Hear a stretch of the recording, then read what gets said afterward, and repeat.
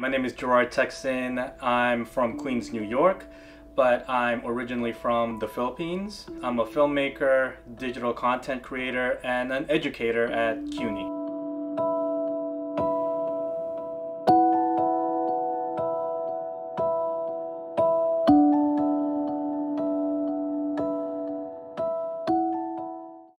In college, I started as an accounting major, and I got my associates in accounting, but at the same time, in my head, when I was getting my bachelor's degree in Hunter, I dec- that's the time when I decided to be a media major at Hunter College and pursue filmmaking as well as different medias to tell my stories. This next one goes out to the birthday girl. Happy birthday, Irene.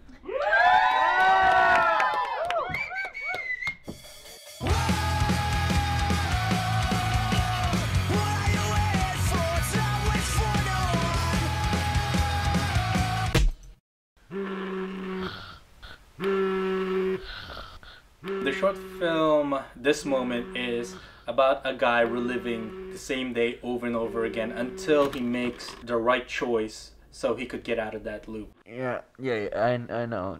Uh, Irene's birthday got it.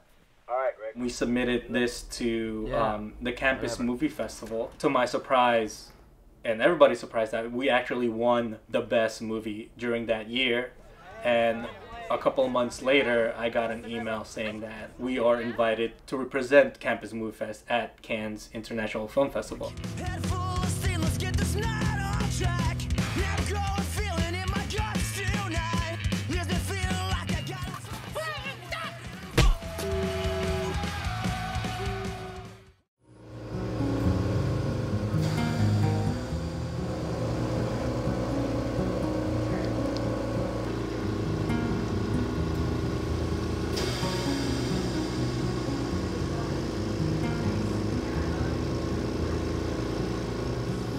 My name is Prasha Tuladar. I'm 27 years old. I'm from Queens, New York. I was diagnosed in April 2011 um, with scleroderma. And my skin was just turning into a wood. Like I was turning into stone inside and out.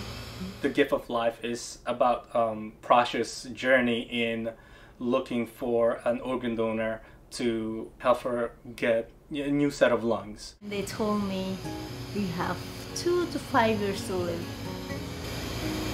So I, it's already been two years, but like hoping like to get a call for new lungs and transplant it soon.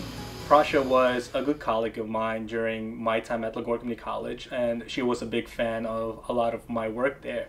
And when I knew that she was diagnosed with scleroderma and she was living with oxygen tank, uh, that was the time when I feel like I could learn about the whole organ donating procedures as well as the medical aspect and the social economic aspect of a person of color specifically Nepalese community and how they deal with trying to figure out like if they would be in line to get a new set of lungs for her. At one point, I was like, I can't take this anymore. I was like, I was like giving up on life. And then I went for lots of therapies, and and then my I met my husband. He was there with me all the time, throughout everything, in the hospital. And he was like a person who changed my life. With his help, like I have got a new new means of living a life. Like I have a baby because of him. I have a family because of him. And I have a goal, I have a meaning, like, you know, like I have to live for my family, for my child. I have to see my child to grow up. A year after I finished this short film, she actually got a new set of lungs where she doesn't have to live with oxygen tanks anymore. And that was the time where um, she got to live a normal life with her kid, her family, her husband, everything. And it was just such a such a happy time for her.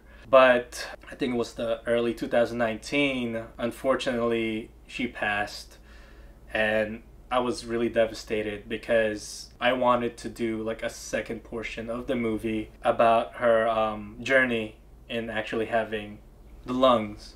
And it was such a sad moment. And the thing that I want to continue on with this story was instead of like, you know, looking into the sadder part, is her journey. And even after her journey is over, because she still has her daughter and her husband and her family and just telling the story of how great of a person she is, how strong she is, and how strong of a fighter she is, even though everything was all up against her and you know she prevailed. The human body is capable to bring a new life in this world. And you just don't want to bring a life. You want to be there. You want to help it grow.